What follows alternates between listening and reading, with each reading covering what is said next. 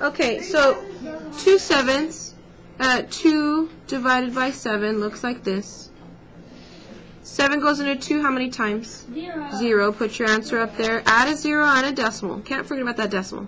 7 into 20 Two. twice because 3 would be 21 and that's too many.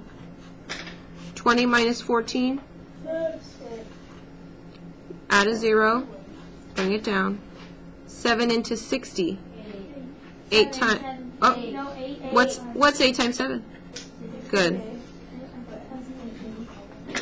Subtract, you get 4. Add a 0.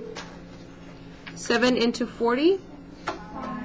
5 times, what's 7 times 5? 35. Subtract, you get 5. Now what?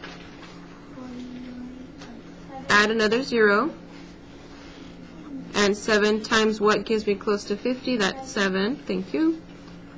49 subtract, you get 1. Add another 0. Bring it down. 7 into 10.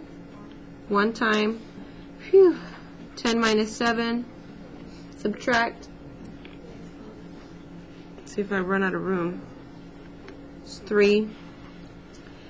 Add another 0. Bring it down. 7 into 30. 4 times. 7 times 4 is 28. Subtract. 2. Add a 0. Bring it down. Oh, it looks as though I'm going to start repeating. 7 times 2 is 14. That's 6. And so this that's happening down here, 20 minus 14, happened right up here at 20 minus 14. So I know that the pattern is going to continue. So let's find, it's 285714.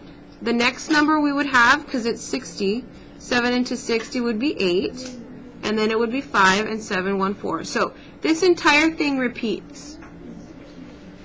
For the sake of our assignment today, we're going to take 0.285714, change that into a percentage by moving my decimal twice to the right.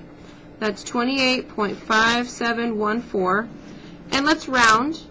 Rounding to the hundreds, the 7 is my hundreds place. I look to its right neighbor. 4 or less, let it rest. 5 or more, add 1 more. What am I going to do? Yeah, 4 or less, so the 7 stays the same. And you add a percent sign.